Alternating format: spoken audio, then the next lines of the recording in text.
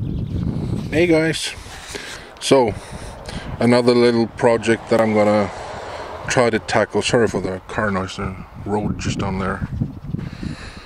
Um, so I'm visiting my mother and she I made for some time ago she has one of those electric scooters and some time ago I made a sort of a trailer hitch um, that she can use and um, pull behind her some well one of those garden carriages? Whatever. Yeah. Something like that. And this one is one of those that doesn't have a fixed axle well there are fixed axles but a fixed hitch. You can see it's on quite a bit of an angle there. And this one has served a very good purpose for I don't know two three years but they get beat up like crazy. And as you can see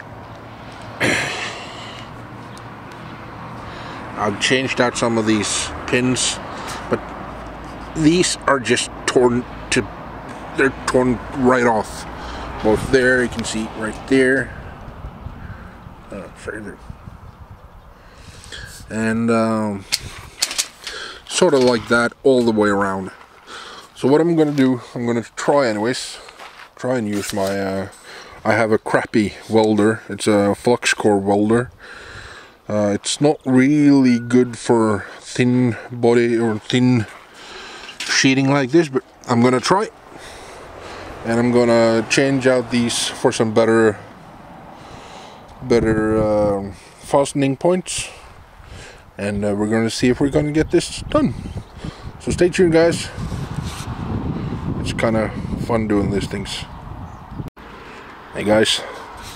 It's Sunday and I did some work yesterday that I didn't film which uh, I regret because I wanted to make a film on it of it. But anyways what I'm doing is we have or I should say my mother has um, a couple of garden carriages. And this black one is the first one and the green one is the second one but the metal is far better on the black one than on the green one. Both of them are in dire need of repair. The green one is well I'm not gonna say totally lost but yeah anyways. So what I did yesterday was I welded this bracket. And I did that with my crappy flux core welder. And as you can see the weld is well yeah. And uh, but it's holding. It's turning nice. It's holding. And the next thing is I'm gonna take off the wheels. I bought four new tires for it and uh, put them on. I'm gonna take the handle off that one and put on here and I'm gonna replace what I need two of these feather whatever you want to call it thingamajiggies. I wish I did film yesterday but I had to go out for a short uh, and buy some parts for this amongst other things the wheels or tires. But uh, when I got home it was raining like nothing else. So everything was just put on hold and I packed the welder inside and anywho but the weather is cloudy but there's a bit of sun behind there. It was actually forecast nicer weather today. But what I'm going to do is I'm going to try and get four wheels on this thing. Uh, take the handle off that one put it on that one. And uh, let's see how it goes two minutes with that. Four new tires. Plastic.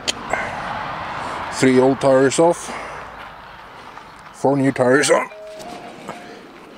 Spinning nicely.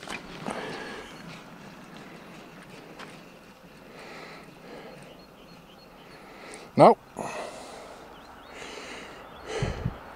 I gotta get that cotter pin that's in there. Gotta get that part cotter pin off and put it on in there. I got a bunch of new cotter pins yesterday, so that's no issue. Anyways, back at it. Ta-da! Half an hour yesterday. 50, well, 20 minutes today.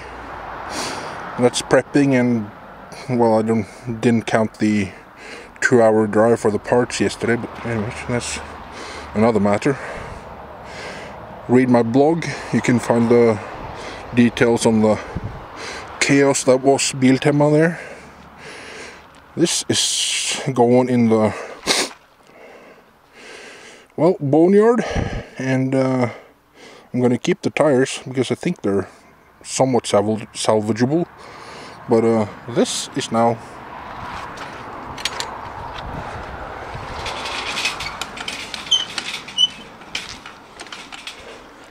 working nicely.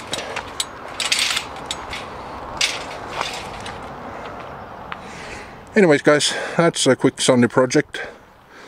Um, now I'm just gonna tidy up and that's it now for the tiller project no worries that's still up for sale the bikes. Not sure I'm going to do anything on them yet today because my back is killing me. Anyways. That's me saying thanks. Comment subscribe you know the drill. Thanks